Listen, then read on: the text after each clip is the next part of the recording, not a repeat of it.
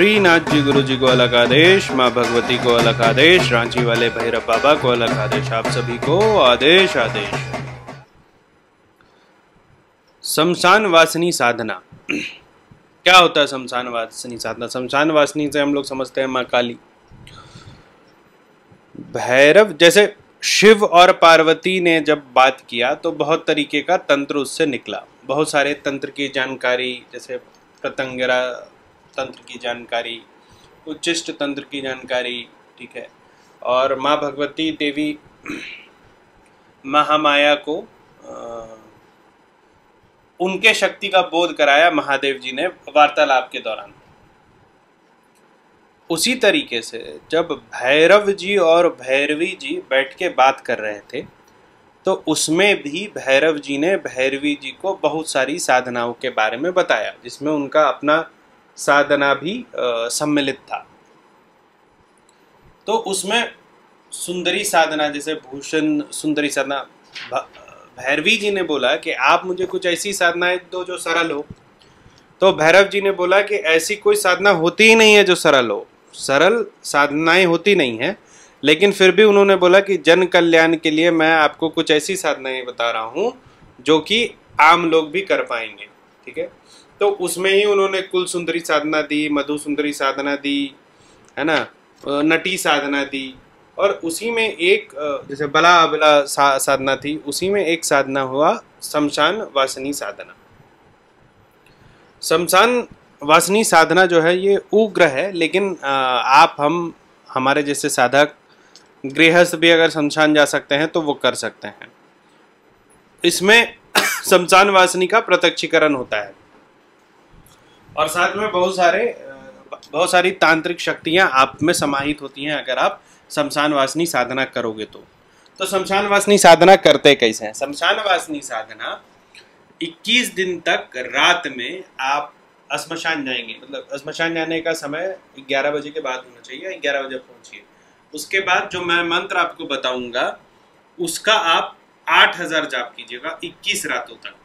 ठीक है? और जिस दिन आपका इक्कीस रात खत्म हो जाएगा, उस दिन आपको एक आठ हज़ार बार आहुति देनी है। आहुति किस किस चीज़ की होगी? एक मिश्रण होगा, दही का, घी का शहद का और खैर का जो लकड़ी होता है, उसका टुकड़ा होगा। तो आज आठ हज़ार खैर का लकड़ी के टुकड़े में आप दही, घी और शहद मिश्रित कर लेंगे और उसके बाद इस मंत्र से आप जो है माँ भगवती का शमशान वासनी का आप हवन करेंगे। इस पूरे क्रिया का सबसे जो उत्तम आउट फॉल आउट है, वो ये है कि आपको इसमें प्रत्यक्षीकरण होता है। इसके बाद अब जब भी शमशान वासनी से काम लें, किसी क्रिया को आप करें तो उनको मछली, मांस, बलि और कारण ज़रूर दें, ठीक है? अभी मंत्र सुनिए। मंत्र क्या है शमशान वासनी का? मंत्र है, ओम ह्रीम हुम हुम ओम ह्रीम फट फट सर्वभूतनी नाम भगवती वज्रधरस्य समय मनुपालय हन हन वद वद आक्रम आक्रम भो भो रात्रौ शमशान वासनी आगच शीघ्रम हुम फट। इस मंत्र को 8000 जाप आपको रोज करना है। तो 8000 जाप करने में आपको मान के चलिए कि लगभग पूरा अगर आप जितनी जल्दी बैठे, ग्यारह से बैठेंगे तो आपको चार बज जाएगा। लेकिन कोशिश करिएगा कि सूर्य अस्त से पहले आप इस साधना को कर लो।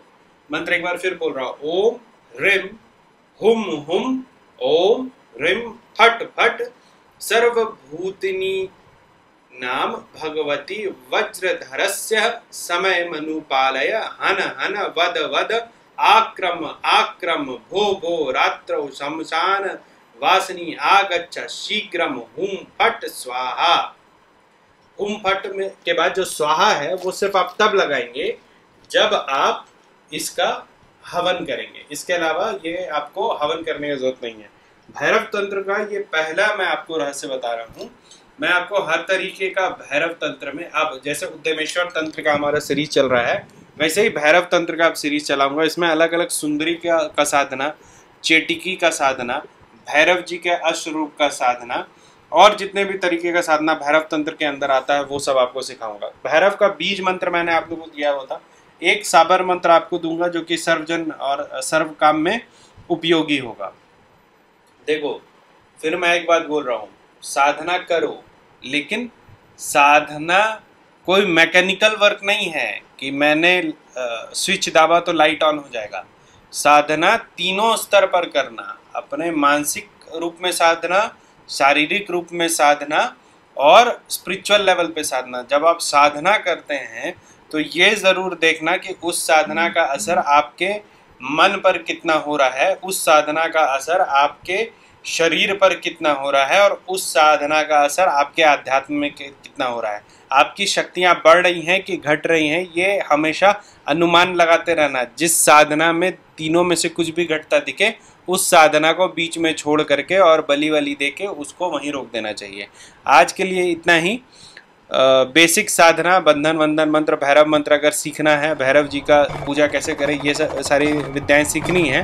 तो मेरा एक पेड व्हाट्सएप ग्रुप है, उसमें आप जुड़ सकते हैं। इसके अलावा, अगर भूत प्रेतों में इंटरेस्ट है तो हैंडबुक फॉर पैरानॉर्मल इन्वेस्टिगेटर मेरी किताब है।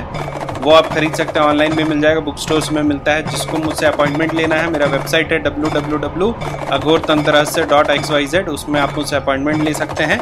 डायरेक्ट बात करने के लिए आप लोग call me for app download करिए, उसमें रुद्रनाथ सर्च कीजिए और फिर आप मुझे डायरेक्ट कॉल कर सकते हैं। इसके अलावा मेरे यूट्यूब चैनल को सब्सक्राइब करिए और बेल आइकॉन दबा दीजिए।